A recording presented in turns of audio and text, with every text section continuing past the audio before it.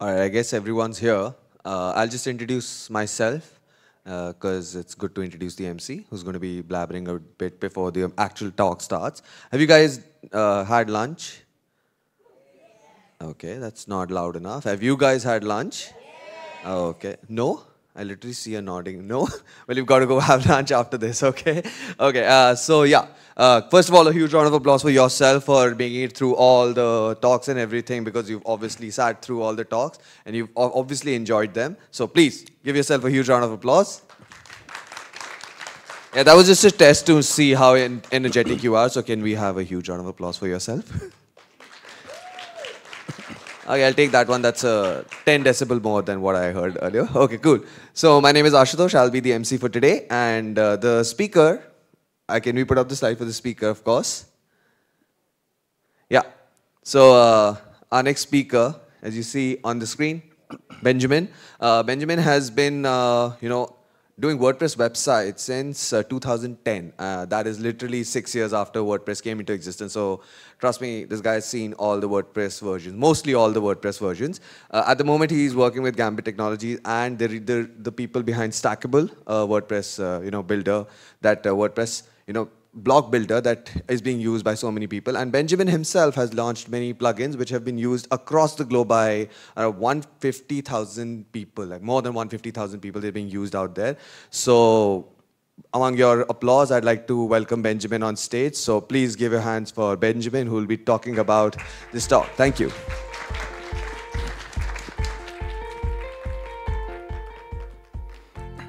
Uh, thank you so much. Um, so welcome to my talk. It's how to achieve an efficient workflow with the site editor and the block editor.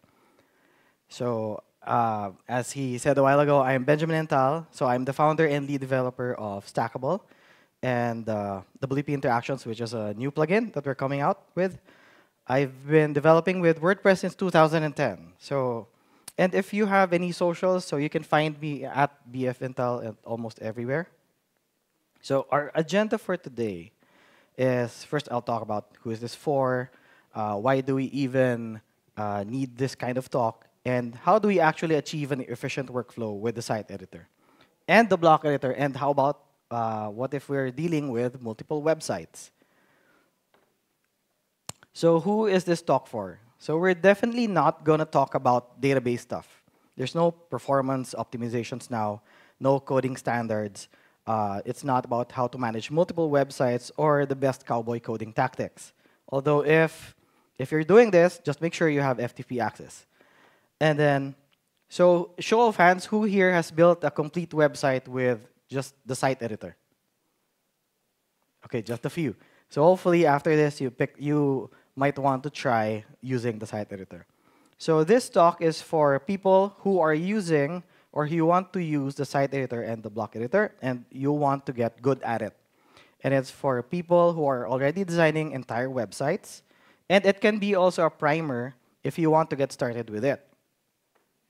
So my goal with this talk is for you to at least say once, aha, I didn't know that you could do that. So this talk is just actually quite simple. I'm here to give you some actionable tips, that you can use in your day-to-day -day life when using the block editor and site editor. So when I was thinking about the topic that uh, to share with you here in WordCamp Asia, I was sure it was going to be about the block editor and the site editor. Because in my day-to-day -day life, with being the uh, head of the dev team in Stackable, which is a block plugin, and WP Interactions, which is also a block plugin, if you look at my screen, it's always going to be either the login screen of WordPress, because it logged me out, or it would be the block editor, because I'll be just there fixing bugs with our blocks, uh, creating new features, creating new blocks, and tinkering around and exploring what are the new things. So over the past couple of years, I've learned a thing or two about how to be efficient when dealing with blocks. So we've been, I've been doing this since the beta of Gutenberg, back in 2018. So I thought I could com compile everything that I have learned and share with you. So I think we need a talk about efficiency in the block editor because these two have changed the way how we do things. I won't go into the entire history But for so long, we've been doing the same things um, over and over again using the same type of tools. But now things are changing and they keep on changing. So the block editor and site editor have been here for quite a while, but they're still constantly changing and they're constantly being improved, all thanks to the help of the contributors, which are who are all doing a phenomenal job. Things that are hard to do before are starting to become easier. And but if you just look at it from the surface, the block editor still looks the same as before, but a lot has changed under the hood. So how does it, what does it mean if uh, we want to achieve an efficient workflow? So it's definitely not just about speed. It is about speed, but not just. Because if it's all about speed, then what you can do is just use one of those new lightweight mouse that are hollow, and then just practice clicking and increase your average clicks per minute. But it's also about making things less of a hassle, achieving things with less clicks, and uh, to have a more enjoyable editing experience. It's definitely not about memorizing a bunch of shortcuts because that's a bit boring. And honestly, I find it a bit hard to memorize a lot of shortcuts, especially if you're not using them all the time. For me, an efficient workflow is a smart way of doing things. So imagine the time before when we didn't have the block editor yet, or the site editor. What does it mean to be efficient? So we have our header and footer and template editors, block, uh, I mean, page builders and template editors handled this very well. They helped us achieve efficiency. And then to make building pages quicker, we use templates. So you can uh, use those as an easy starting point to build our About Us pages, Contact Us pages. And then if you needed a good theme that had loads of good settings in the theme customizer. And then you have your trusty shortcodes.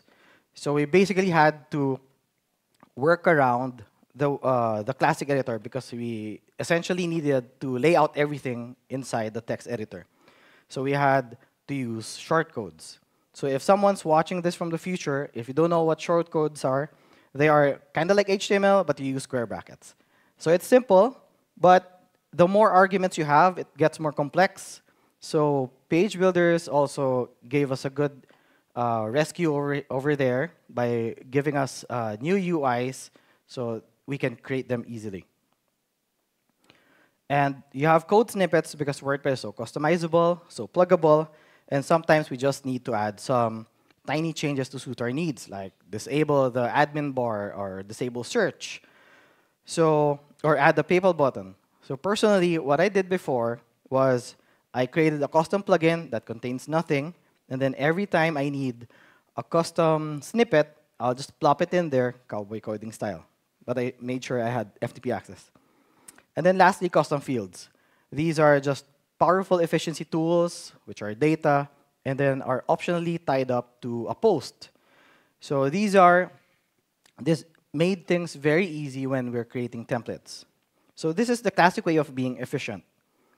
Now, if we're doing the block way, these are the counterparts. So for the header, footer, and template builder, you have your site editor. And then for templates, you have your patterns. The customizer is now the block theme settings. Shortcodes are now blocks, and the two are still the same. So I made it the four points here color blue because that means that these are the only things that changed.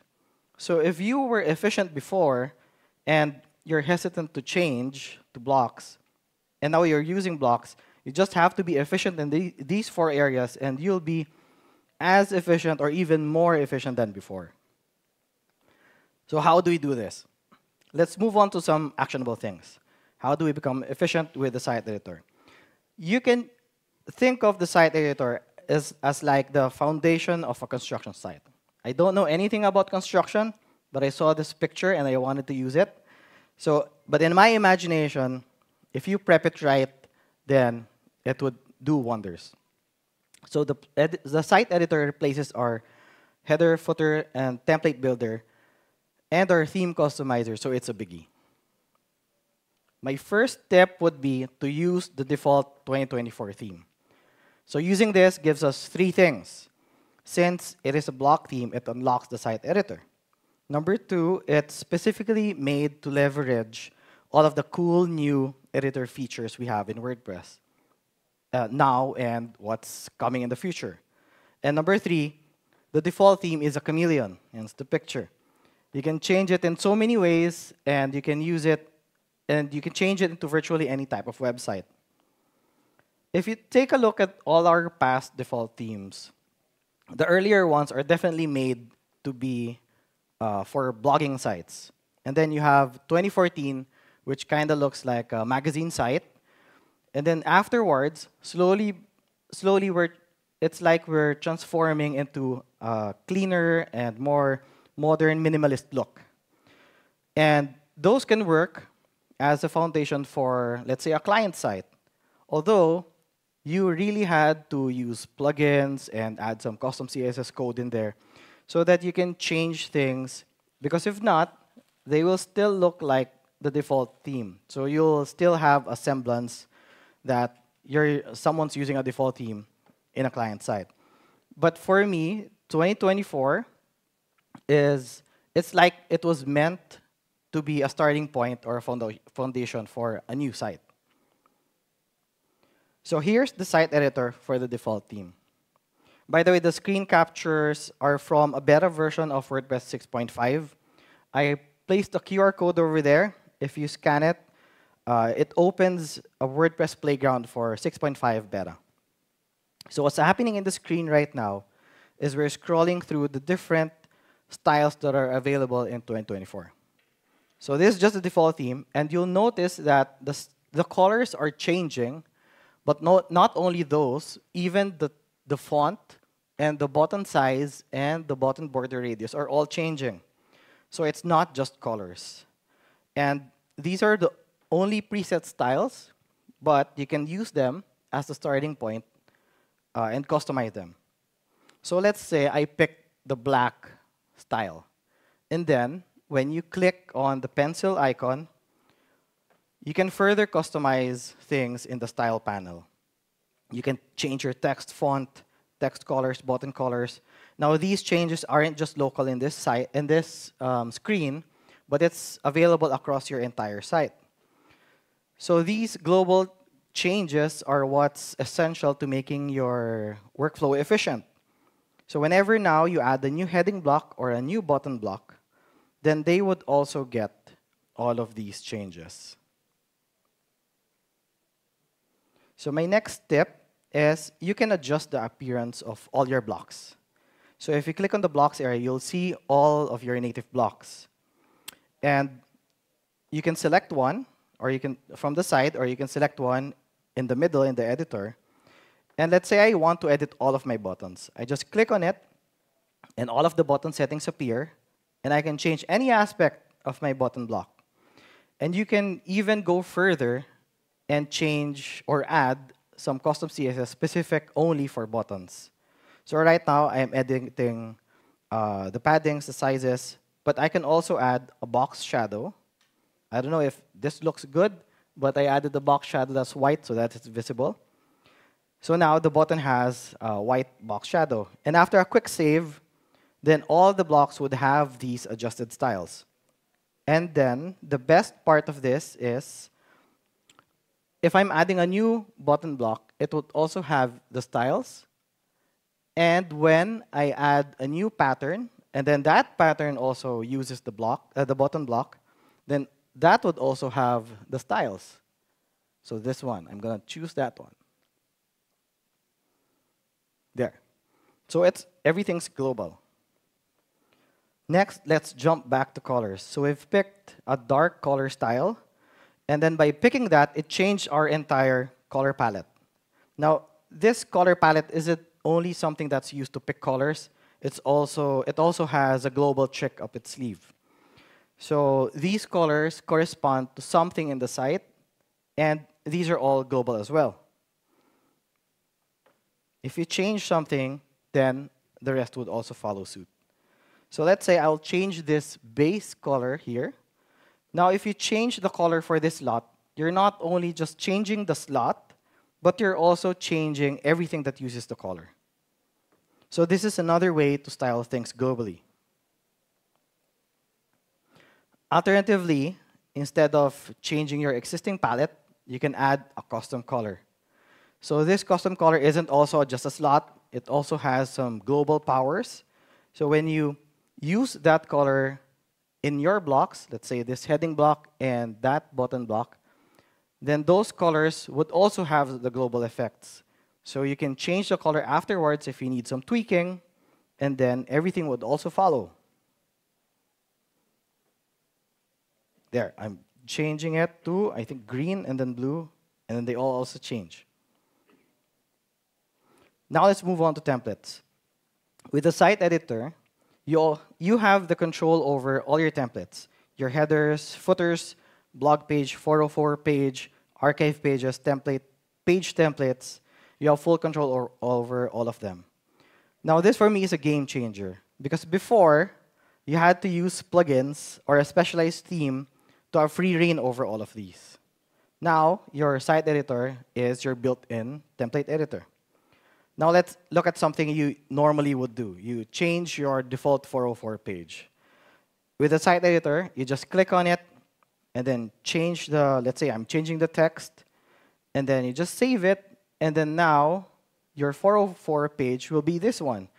Traditionally, if you wanted to do this without any plugins, oh, I mean without a builder, you'd need to create a page and then find a plugin that you, that allows you to assign that page to be your 404 page. So my next tip is about page templates. So it's easy, way easier to create them now. So let's say you want to create a landing page. And sometimes when you create landing pages, you want it isolated from the rest of your site. You don't want your headers, your title in there. You just want the content and just full reign over the content. So you can use page templates for that. But what if, like this one, I don't have an existing page template? Here, the header is still there. I want it gone. So what I can do is just, I can create one, just give it a name, and then now I'm actually editing it right now without even leaving the page. So I just remove all the stuff that I don't need, and then save it, and now I have my blank page template uh, without uh, using any other plugin. There. So no headers and no footers anymore. So templates are really great, and they're really comprehensive. If you're creating your templates, it can even pick up any custom post types you have or any custom taxonomies. You can even have different templates per post category. So I was just giving tips, but if you think about it, if you bring it back to the title, it also works as a workflow. So you have step one, you can customize the look of your entire site using the site editor. Then you jump on step two, customize all the blocks so that they look all coherent. Step three, customize your global palette because this will really help if you need to tweak something further on. And number four, customize all your templates. And now, after all of these steps, when you create a new page, it will all fit in. And the best part is, we're just doing things without any plugins and all natively. So some just minor tips that you might find interesting. So you can set your block spacing to zero if you want full control over uh, the spacing. Because the your theme is a bit opinionated, as it should be, because it wants you to help you. So if, but if you want pixel perfect designs, you can just set the spacing to zero so that everything would be side by side. And this also solves some issues if you can't find the setting and then there's a space somewhere, this can solve it. Next, you can still have your site-wide CSS or additional CSS. This was available in the customizer before, and it's still there. It's just sometimes hard to see.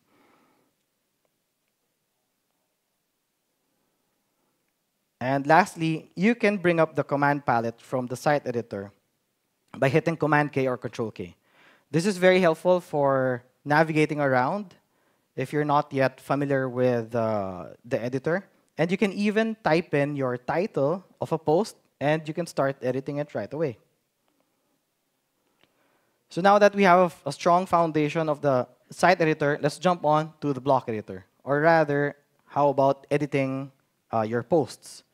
So let's say we want to recreate this very typical three-column layout on the top right. And we are gonna do things the inefficient way, or rather, if you don't know yet how to do things efficiently. I clocked myself. Now, this is not a real benchmark, but uh, a strict benchmark. But I clocked myself doing this at one minute and eight seconds. It's a lot of clicking everywhere, looking for the block.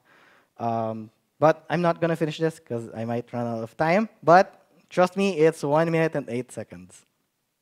So it's a lot of typing and then doing things all over again.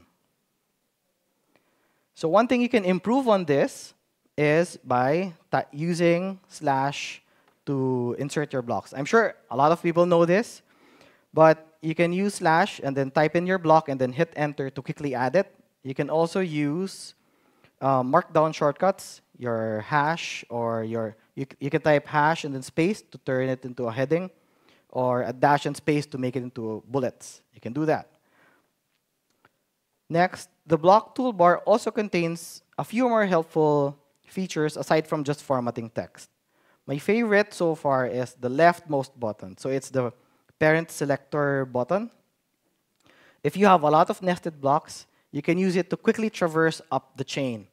So you can use it if you have a lot of nested blocks and you want to edit something in the parent quickly. And the next is the next button you can use to edit the style, change the style, or transform your block into another one. And the last three dots button, that's where the add before and add after buttons are to quickly add blocks. Now, this one for me is a very simple but really a very helpful and time saver tip.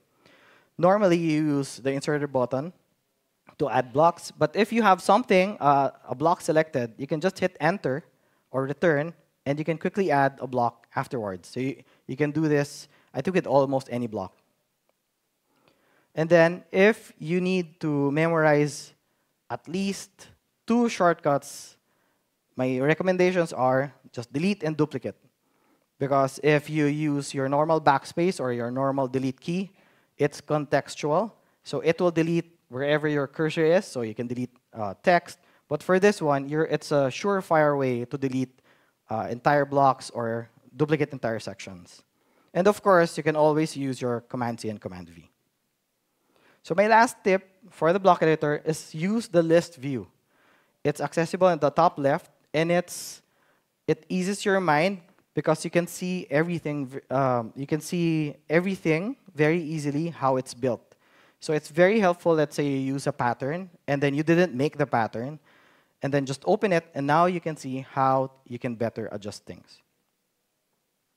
So now, with those efficiencies, let's see how we can uh, do things now with, uh, by now, instead of clicking the inserters, we now use slash, and we now use the toolbar to select the parent, and I'm pressing enter now to insert new text, and now we can cut our time for, from 1 minute 8 seconds to just 36 seconds. So that's huge savings, if you're, especially if you're creating a lot of websites. So patterns. So at its base, oops, at its base, patterns are just prefabricated groups of blocks. So there are two types of patterns. Your regular patterns, like you can see here. So you can just use them to, as your starting point for your sites. So it's just like your typical template. So you use them and then you edit them and that's it. But you have your second type of patterns, which are sync patterns. Uh, they're called, they were called reusable blocks, but they're still the same. So it's just you have one block, you have one reusable pattern, and it's synced across your entire site. If you edit one, then everyone, everyone will follow suit. But now, starting WordPress 6.5, you also have instance overrides. So instance overrides is a game changer for this because it allows you, instead of having just sync patterns, it now turns them into small templates. So let's see that in action. For here, I have only your regular sync patterns. So in my screen, it's, it's just a pattern. Two patterns I, I reused, but it's the same one. And if you click on it, all you can do is just edit it. And if you edit it, because you want to change something, let's say that picture, if you change it and save it, then all the rest of the patterns that you used would still be the same, uh, would also reflect those change. There, so if I scroll down, it's the same picture now. With instance override, you can edit the pattern and set something to be overrideable, if that's the word. then you just check on this, and now you're setting it that every time you use a pattern, you can now have it to be a different type of content. So you can do it in multi with multiple blocks in, with the same pattern. And now, if I click on that pattern, I now have two new content areas, and I can edit the image. And if I edit the image, you'll see that I edited it, but if I scroll down, the other sync pattern that I have still has the old one. So now it's really like small, small templates that you can reuse anywhere. So we also have a pattern directory. Um, and when you access it, there'll just be uh, a copy button beside every pattern. You can copy it and then go inside your editor and then paste it. It's also a very easy way for anyone to contribute because there's a block editor available right there. If you just create a pattern, just give it a name, and then submit, and then you've already contributed to the project. So blocks. Blocks are the fundamental parts of the block editor. Hence the name. So how do we, how can we be efficient with them? For me, I don't think that uh, you need to create your own blocks, especially if the reason for creating your own block is something uh, about layouts. So I created a, a short algorithm here on whether you should or should not create a new block. So if you are creating a section, then maybe just use a sync pattern. If you're missing an option in a native block, then maybe try a third-party block or a block library, like Stackable. And then, if you need something special, a special script or some special markdown, then you can just use the custom HTML block, especially if this is just one-off. Now, if you need some special functionality, maybe try doing all those three. And then if all else fails, then create your new block. So why? Because Gutenberg development is rapid. So a lot of things change all the time. So when a lot of things change, a lot of things get, can get broken also if you have custom code in there. So it's another thing that you have to maintain. And every time you need to maintain something, your efficiency goes down. And there are a lot of good alternatives out there. So how about when dealing with multiple sites? Now you have one site, it's good to go, it's ready, and now you want to create another site. How do you deal with that? So first, you can export your patterns. If you export your patterns, you'll get uh, JSON files, and then you can build your own collection of patterns. And then every time you need them, you can just export them, or rather import them into your new site, and the patterns will become available. But the better thing for me is you can export all your changes as a new block theme. Forgot to hit play. Okay, so th this whole talk we've been changing this uh, theme over here. We have changed the colors, and we customized the color palette and blocks, and changed the 404 page and added the uh, page blank page template. You can export all of those by heading over to the site editor and just clicking the export button. And you will just end up with a zip file. There, this is the export button. If you click on it, you'll get the zip file. Now, the zip file, if you just open it, you'll notice it's just your regular block theme. You have, it has all the innards of a block theme. You have your theme.json file, template files, and more. So what can you do with it? You can import it or activate it in another website. So I have here a blank site. It's, it just looks like the earlier one we had, but it's blank. So it just has the default theme, but nothing in it. No settings, nothing yet. So what I can do here is I can activate the theme or upload and activate the theme that we had, we just downloaded. So there, I'm going to up upload it. And after I upload it, if you check in the front end, all our previous settings are now there. So you can see that it's now activated because it says here, 2024 slash my starter theme. So I renamed the exported file. So when you check in the front end, now all of the settings are there. All of our 404 pages and everything, it's all there. So for multiple websites, what you can do is you can use the default 2024 theme because you're now experts with the site editor. Or you can just use the exported block theme that you just exported a while ago. And lastly, a bonus tip, that exported zip file, you can actually submit it to the theme directory and contribute. You just have to change the picture, change the name, change some other things, and submit it. So this is also another way to contribute to the project. That's it. Thank you.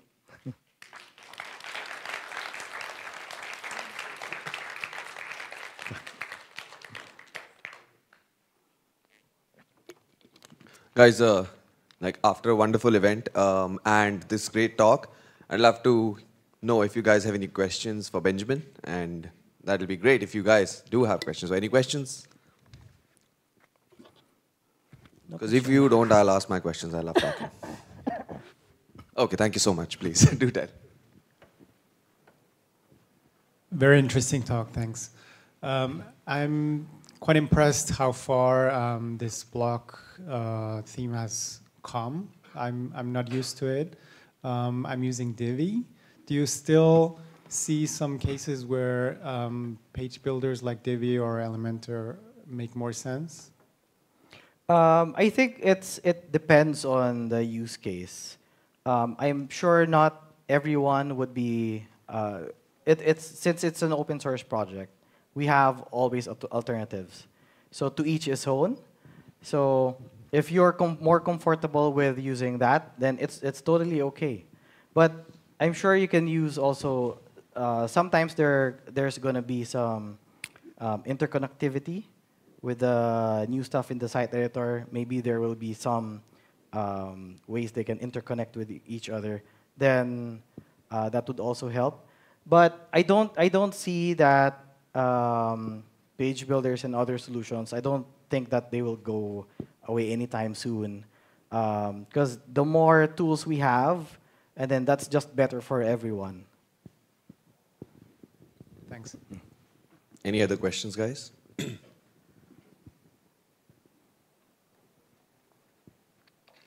Please.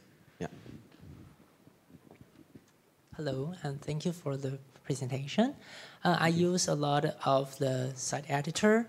Um, I want to know that um, the template lock function, and there is a template lock called content only. And uh, I use it a lot, but it is really limited. And I saw the um, pattern that can, um, I forgot the allow to change something. Yeah, the and it, instance override. The override, yeah. And it seems like it's really like the content only template lock. And uh, I want to ask, can that function replace the content only template lock that um, have more flexibility to let um, user to change anything else using the pattern? Uh, I think it can, because the template lock, I think it's mostly used for so that you, you don't change something in the certain group of blocks. But this is more for um, reusability. So it's, it's like that one, it's ensuring that you don't touch something. And then in this one, it's more of, you can use it to build like small templates. So it's a different use case, uh, a different intention, but I think it can also work. You can also use that for that. Yeah. Does that answer your question? Okay, great. Uh, so I'll just ask, uh, oh, sorry, please, go ahead. Mine is a really non-technical question, so all yours. Uh, not so much a question, but unfortunately the pattern overrides has been punted to 6.6. Ah! there were a few um, issues and ongoing discussions about the best way to implement it, which were, it's made it too tight to get into 6.5. It will continue in the Gutenberg plugin, oh, that's but too it bad. just won't be Thank available in the 6.5 release. Yeah, thank you for bringing that up. So I didn't know that because it was, uh, yeah, busy. Um, firstly, thanks for the presentation. I wanted to know, are there any inefficiencies that you could point out? Um, not. No, I not, not really for me. I can I can get back to you at that, but uh, for now, um, well, it's not that there are inefficiencies for me, but there's just a lot of room for improvement that we're we're doing right now. So and and then eventually we'll we'll have more and more uh, solutions for efficiency. Maybe I should have rephrased that, but are there any features that are stopping you being as efficient as you would like to be, or, or uh, anything on a wish list? Oh, in my wish list. Yeah. Well, the the feature that got punted. that's a huge thing. You t- talk to him then. Anybody else who'd like to ask a question? Or has certain suggestions? I'll just rephrase it. Great. So, uh, Benjamin, uh, you've been working a long time with WordPress. I mean, d- what was the earliest version that you saw that you know you worked on? I think I worked on WordPress 3.1. Oh wow, that's quite back, way back. So, so Yeah. wh- what was it like? I, I started off really late. So, could you just tell us what was it like? And well, not the you know the negative part, but yeah, of course, you know. Well, it it's it pretty much stayed the same un- until WordPress 5 came out, when then the block editor was introduced. Uh, back then, the the really new thing was that you can now um, reorder things, and you have a you had a new UI when you were creating your menu. I'm sure you, I'm sure you did work before WordPress as well on websites, right? Yeah. So, so what mesmerized you with the WordPress uh, backend that you know uh, you're like, okay, fine, this is my love now. Uh, so I used to do other CMSs before, but when I discovered WordPress, uh, it, it, it had good documentation, uh, and then it also had a good community. So these WordCamps, actually. So it was like, what? There's a convention for software?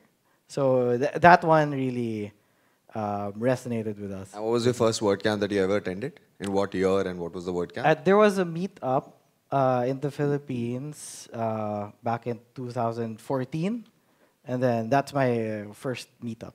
So I met a lot of good people there. and then you didn't, didn't stop, right? Well, I stopped during the pandemic. Yeah, I mean you didn't stop Yeah. working, of course, but yeah, you Yep. did stop the. But we, I, we start. I started along with my team, uh, really going into WordCamps uh, and contributing, and then speaking uh, just last year. Got it. So WordPress for the win, guys. So that's what it is. So huge round of applause for our speaker. And we have a token of appreciation for you for being uh, such a wonderful speaker out here. Hey, thank you. Hey, let me take a photo last time. I'll hold this up. Yeah. Thank you. All right, guys, just a couple of announcements. Uh, 3.30, you all know that uh, there's going to be a session with uh, Ask Me Anything uh, with Matt, of course, and you're going to be there, of course, and there's no saying about that. But after that, we've got the raffle session. So all of you who are like, got their fingers crossed, this one's for you. I mean, I got my fingers crossed all along, but still waiting for the iPads and the D- DJI drone and everything to be won. I don't know how many I entered. And after that, of course, how many of you like to party? Of course, there's an after party, so we'll see you guys there. And that's about it for this uh, track. And thank you so much for coming. Thanks a lot.